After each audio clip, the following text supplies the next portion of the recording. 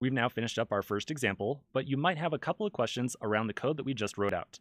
So in this video, we're going to tackle a couple of different questions that you might have about all that code. So here's a list of the questions we're going to go over right here. We're going to first start off explaining exactly what that app function was inside of our app.js file. So I'm talking specifically about this function right here. You'll notice that at the bottom, we are returning what looked like HTML right there. So this whole app function is a little bit mysterious. Let's take a look at a couple diagrams and get a better understanding of what it is all about. Okay, so the app function we refer to as a React component. It is a React component because it is a plain JavaScript function that returns some JSX. Components in React have two jobs. First off, they produce JSX, which tells React what we want to show on the screen to the user, and components also handle user events, such as the user typing into a text input or clicking on a button all components that we create are going to be functions that return JSX. JSX is that HTML looking stuff. You can really think of JSX as being a set of instructions to tell React exactly what content we want to show on the screen at any given time. So if we look at the JSX we have over here, we were essentially trying to tell React that we wanted to show a div with some content inside of it. JSX looks very similar to HTML and follows many similar rules. So for each tag or each element as referred to it, we have a either a closing element, as we see over here, or we have a self-closing tag, as in the case of the HR right here. A self-closing tag is one where we do not have a separate closing element like so. So what are these JSX elements all about? Well, quick follow-up diagram. So we make use of JSX elements to either tell React that we want to create a normal HTML element, such as a div or a span, an input, a table, or any other HTML element. We can also use JSX elements to tell React that we want to show another component. And we actually did that several times inside of our app component. We told, using J we told React using JSX that we wanted to show a field component, a translate component in languages. That's what these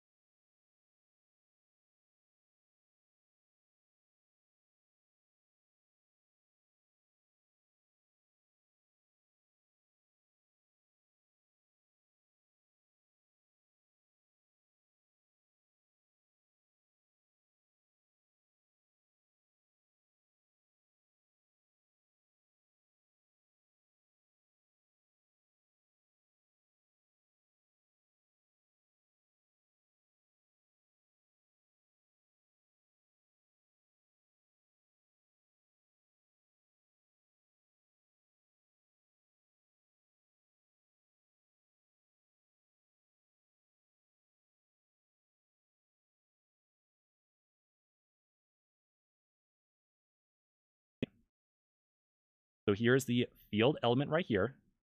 Let's take a look at the definition for that field component. We can find the definition for it inside the components directory, and then the field.js file. So we have another function over here that returns some JSX.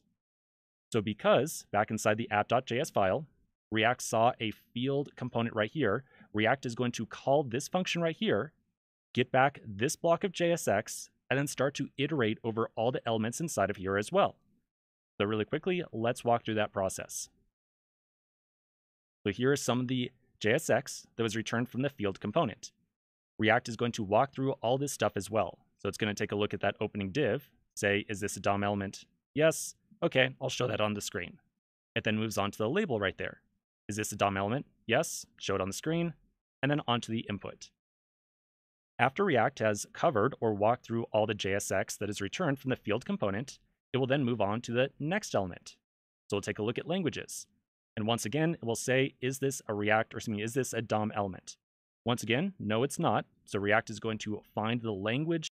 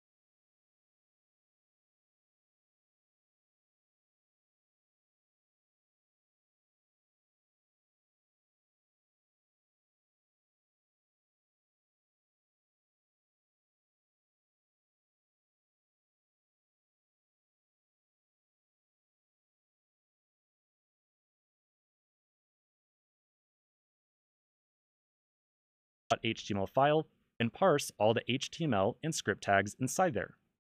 One of the script tags inside there is going to tell that little mini browser window to make another request and get some JavaScript files. In this case, a very special JavaScript file called a bundle.js file. This bundle.js file combines all the different JavaScript files that are present inside of our project. So it combines the index.js, app, field, languages, and translate all into one single JavaScript file. Code Sandbox then sends that entire bundle.js file back over to us. And then all the JavaScript inside there is executed. So the key thing to take away here is that we have a little mini browser window that makes a request, gets back an index.html file. The HTML file has a couple of script tags in it that cause the mini browser window to make a follow-up request and get a bunch of JavaScript and execute it.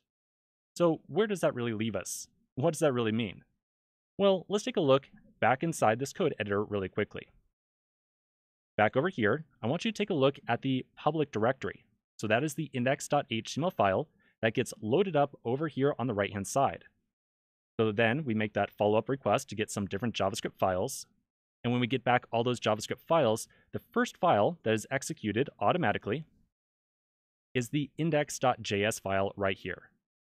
So this is the file and all the code inside of it that initially boots up our React application and gets everything running from the get-go. The key line inside of here to really understand is this react DOM.render call. So let's kind of break down that line of code right there and really understand how React is starting up our project. Okay, another slightly complicated diagram, but don't worry, we will walk through it step by step. So on the right-hand side is our index.js file, and there's the react DOM.render call, and I've split it up into a couple of different lines of code. The first argument to react DOM.render is a reference to our app component, or the app function. That little call right there, or by passing in that first argument, we're essentially telling React that we want it to call our app function and get back all the JSX we had written out inside there, and then eventually go through that process of turning it into HTML.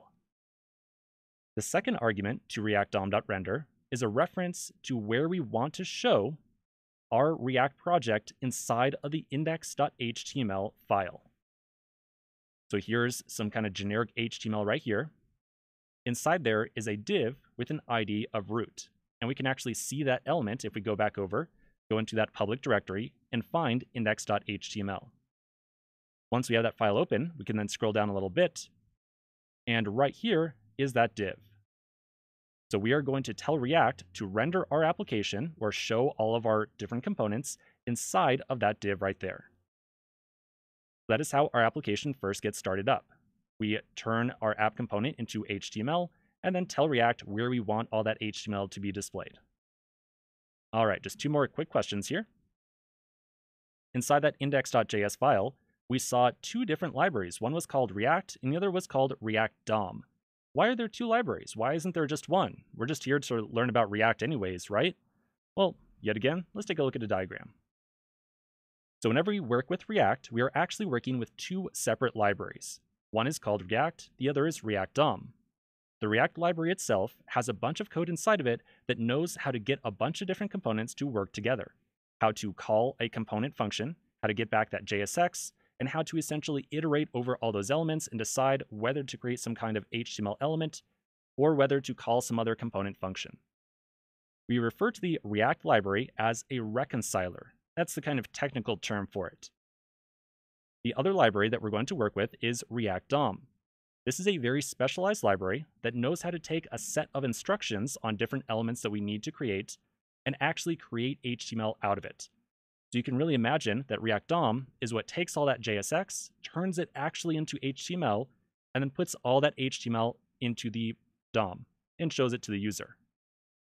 Because React DOM is responsible for rendering content or showing content to a user, we refer to it as a renderer. All right, last question here. How about all that useState stuff that we saw inside of our app function? So inside of our app.js file, all this useState stuff right here. Okay, so use state. that is a function that we make use of to work with a system in React called the state system. The state system is all about managing data inside of your application, specifically data that is going to somehow change over time. Without going too deeply into the